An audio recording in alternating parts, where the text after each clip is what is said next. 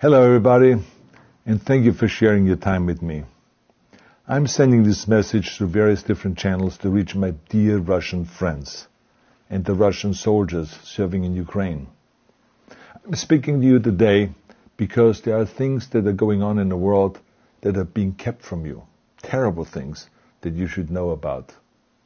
But before I talk about the harsh realities, let me just tell you about the Russian who became my hero. In 1961, when I was 14 years old, a very good friend of mine invited me to come to Vienna and to watch the World Weightlifting Championships. I was in the audience when Yuri Petrovich Vlasov won the World Championship title, becoming the first human being to lift 200 kilograms over his head. And somehow a friend of mine got me backstage. All of a sudden there I was, a 14 year old boy, standing in front of the strongest man in the world. I couldn't believe it. He reached out to shake my hand. I mean, I still had a boy's hand. He had this powerful man's hand that swallowed mine. But he was kind. And he smiled at me. I would never forget that day. Never. I went home and I put his photo above my bed to inspire me when I started lifting weights.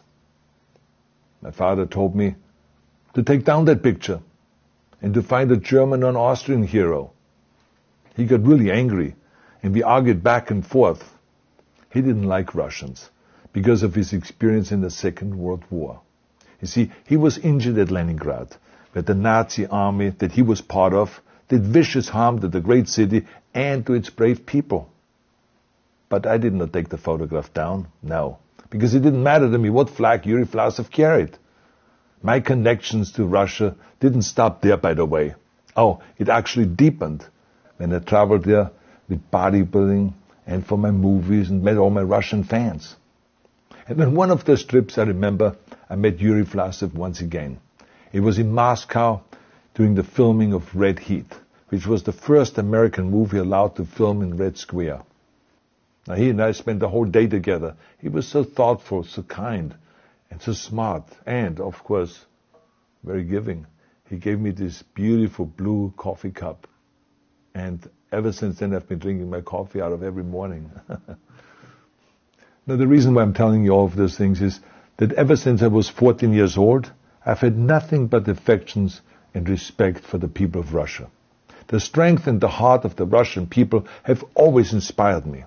And that is why I hope that you will let me tell you the truth about the war in Ukraine and what is happening there. No one likes to hear something critical of the government. I understand that. But as a longtime friend of the Russian people, I hope that you will hear what I have to say. And may I remind you that I speak with the same heartfelt concern as I spoke to the American people when there was an attempted insurrection on January 6th last year, when a wild crowd was storming the US Capitol trying to overthrow our government.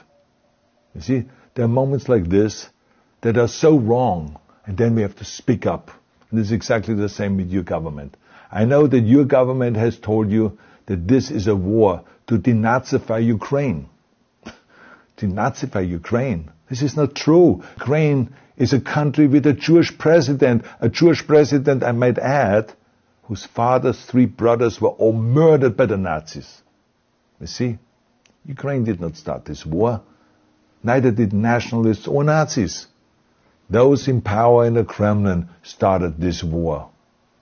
This is not the Russian people's war. No. As a matter of fact, let me tell you, what you should know is that 141 nations at the UN voted that Russia was the aggressor and called for it to remove its troops immediately. Only four countries in the entire world voted with Russia. That is a fact.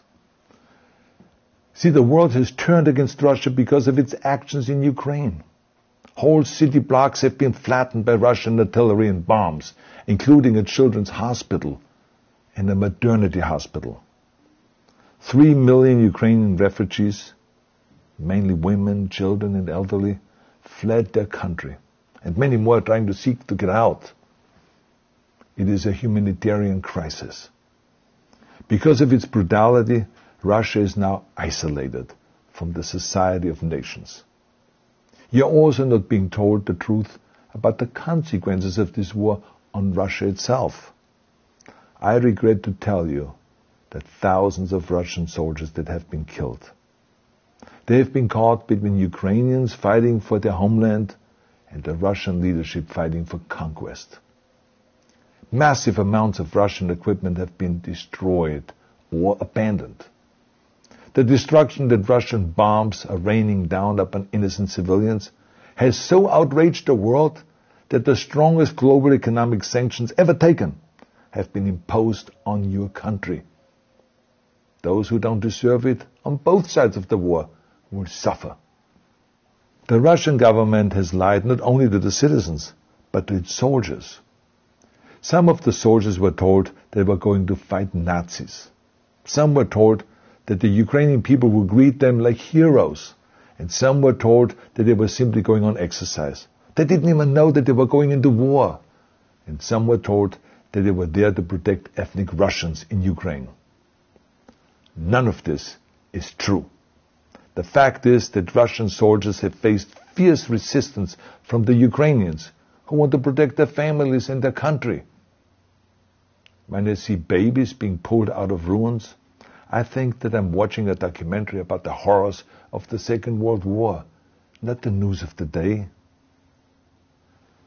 Now let me tell you, when my father arrived in Leningrad, he was all pumped up on the lies of his government. And when he left Leningrad, he was broken, physically and mentally. He lived the rest of his life in pain. Pain from a broken back, pain from the shrapnel that always reminded him of these terrible years, and pain from the guilt that he felt.